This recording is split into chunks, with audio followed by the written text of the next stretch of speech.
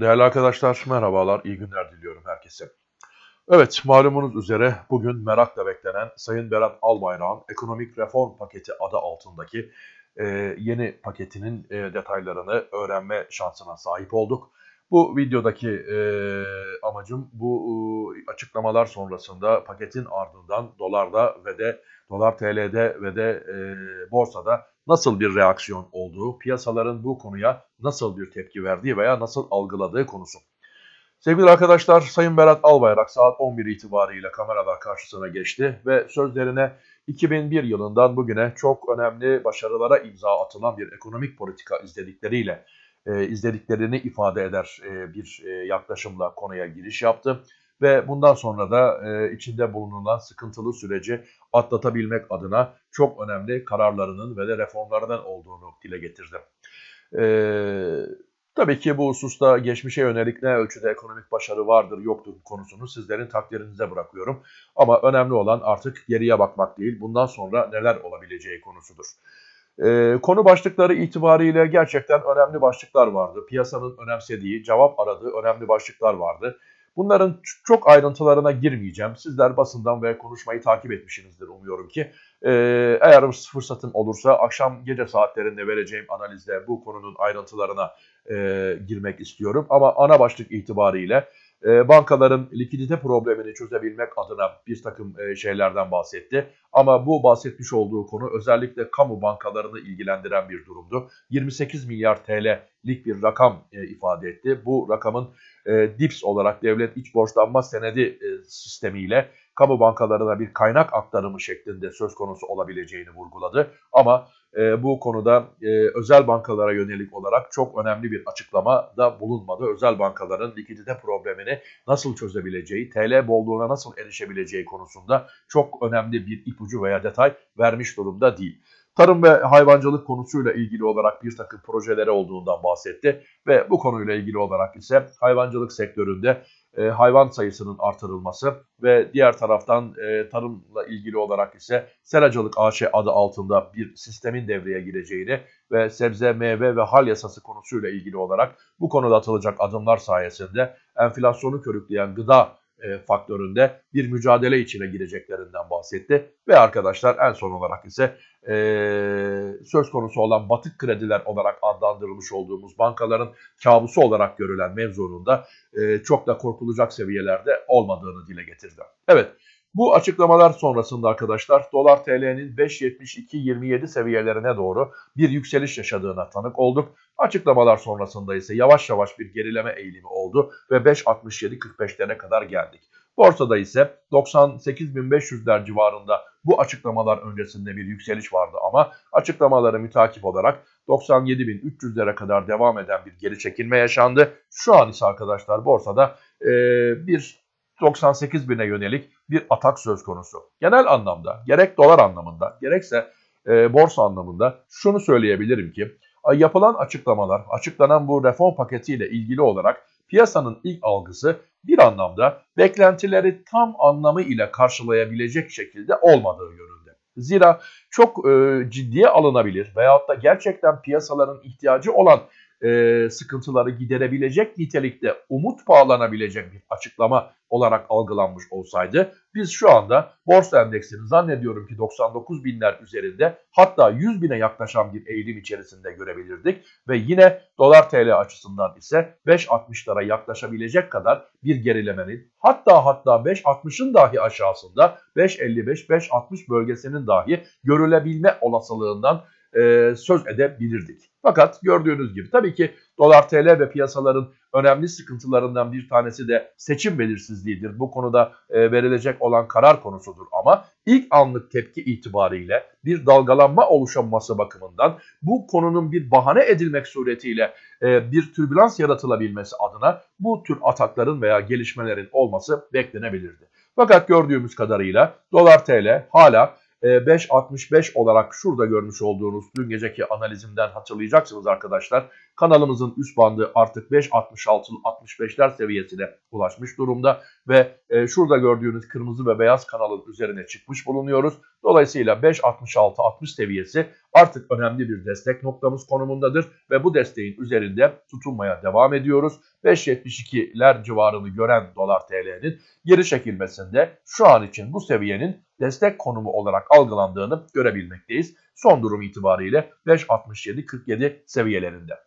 Sevgili arkadaşlar hemen dolar TL konusuna girmiş iken ben sizlere e, önümüzdeki 2 saatlik süre için dolar TL'de hangi seviyelere dikkat etmek gerektiği konusunu vurgulamak istiyorum. 5.69 seviyesinin önümüzdeki 2 saatlik süreç için e, bir destek ve pivot noktası konumunda olduğunu görmekteyiz. Bu seviyenin üzerine çıkılacak olur ise 5.71.50 ve 5.74 seviyelerinin e, günün pivot dirençleri olarak karşımıza çıktığını söyleyebiliyorum. 5.69'un altında kalındıkça e, 5.66 ve 5.64 seviyelerinin gündeme gelme ihtimali mevcut görülmekte. Daha da aşağılarda ise 5.61 desteğimiz bulunuyor.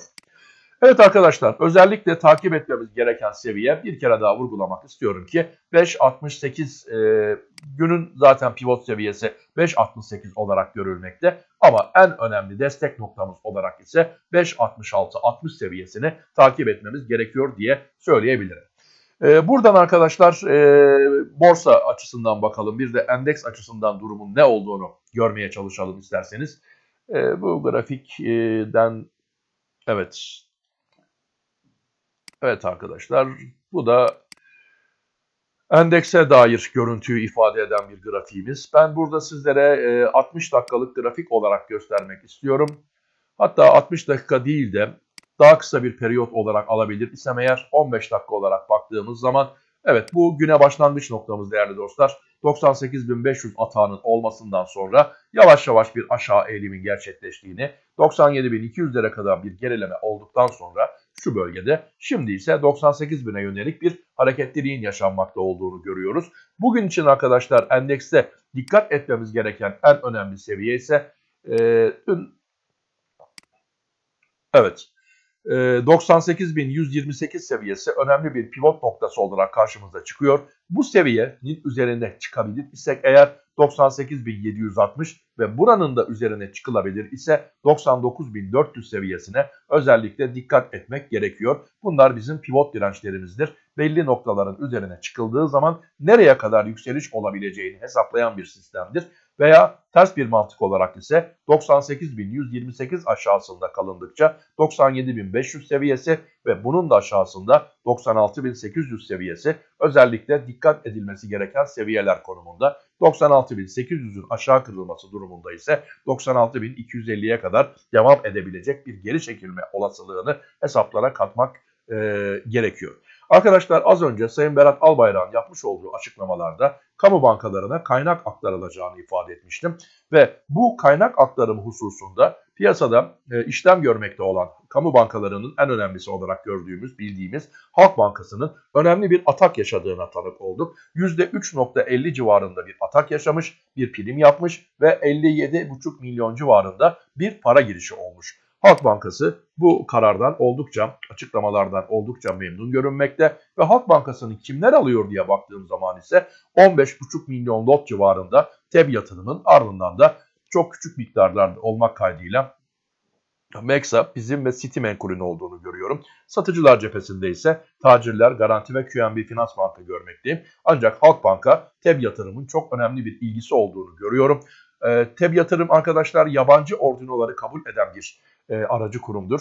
E, bu durumu sizlere ifade etmem gerekiyor. Zira bu alımların e, önemli bir kısmının yabancılar tarafından e, gerçekleştirilmiş olduğu ihtimalini yüksek görmekteyim. TEB yatırım ile yabancı aracı kurumların e, koordineli çalışmalarını bildiğim için. Evet arkadaşlar bir de genel olarak tabloya bakalım isterseniz. Yani bu açıklamalar sonrasında e, bu arada endekste kapandım. E, açıklamalar sonrasında borsa konusunda kimler almış kimler satmış noktasına bakacak olursak sevgili arkadaşlar Merrill Lynch'i ilk sırada görmekteyim. 71 milyon TL civarında bir satışının olduğunu görüyorum. Ve Merrill Lynch özellikle hangi hisseleri satmıştır, e, hangi hisselerde satıcı şekline bakacak olursak Vakıfbank'ta 12 milyon, Türk Hava Yolları'nda 11.6 milyon, Kardemir'de, Akbank'ta ve Garanti'de. Özetle arkadaşlar Merrill Lynch'in bankalar ve Türk Hava Yolları üzerinde bir satış baskısı olduğunu görüyoruz bu kararın açıklanmasından sonra. bu 70 milyon rakamının 71 milyon rakamının ikinci seansla birlikte daha da artma ihtimali e, olur ise daha da artışı söz konusu olur ise bu rakam 150 milyonlar civarına ulaşabilecek olur ise bu durumda endekste önemli bir baskının oluşması 97 bin aşağısına gelerek 96 binlere doğru devam etmesi gibi bir durum söz konusu olabilir. Zira Merrill Lynch'in satışlarını e, TEB yatırımın karşıladığını görüyoruz ama TEB yatırımın şu an için almış olduğu 56 milyon civarındaki alımı tamamen ak, e, tamamen e, az önce ifade etmiş olduğum gibi Halk Bankası ile alakalı genele yayılmış bir alım söz konusu değil ve diğer kurumların ise alımlarının pek de yeterli olmadığını görüyoruz. Bu durumda arkadaşlar endeks adına ikinci seans için dikkatli olmak gerektiğini düşünüyorum. Şu anda piyasa e, çok net bir karar vermiş durumda değil ama net olarak görmüş olduğumuz bir durum var ki yapılan açıklamalar e, reform paketi adı altında yapılan açıklamalar aslında teorik olarak piyasanın hoşuna gidebileceği e, bazı maddeleri içeriyor. Tamamen boş veya tamamen daha fare doğurdu şeklinde değerlendirmek mümkün değil ama yine de bu açıklamaların yeterli bulunmadığı ve e, yeterli olmamasına mütakip olarak da piyasalarda önemli ciddi bir atağın e, borsa adına söz konusu olmadığı diğer yandan ise e, dolar TL adına da önemli bir gevşeme eğilimi yaratmadığını görmekteyiz. Tabii ki şu hususu da bir kere daha hatırlatmak istiyorum arkadaşlar. Şu anda bizim piyasalarımızın odaklanmış olduğu konu sadece ve sadece bu ekonomik paket değil. Seçim belirsizliği, seçimlerle ilgili olarak İstanbul seçimiyle ilgili olarak yeniden bir seçim olacak mı olmayacak mı meselesi. Bu konu bütün dünya basını, bütün dünya dünya basını ve Türk basını ve ekonomisi tarafından yakından takip edilmekte olan bir konu e, özelliğinde bu durumunda önemli bir faktör olarak piyasalar açısından e, değerlendirilmekte olduğunu dikkate al almamız gerekiyor. Değerli dostlar şu an için söyleyebileceklerim bunlardan ibaret. Piyasanın e, Berat Albayrak'ın açıklamaları sonrasında vermiş olduğu ilk tepki ve içinde bulunduğumuz genel durum itibariyle sizlere kısa bir bilgilendirme yapmak istedim. Şimdilik hoşçakalınız, selamlar, saygılar.